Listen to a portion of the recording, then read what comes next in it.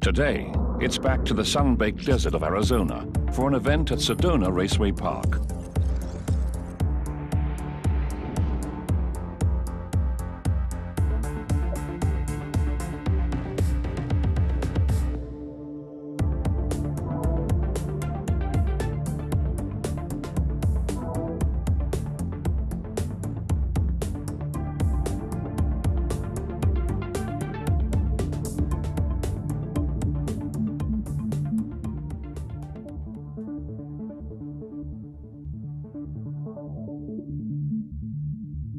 Thank you.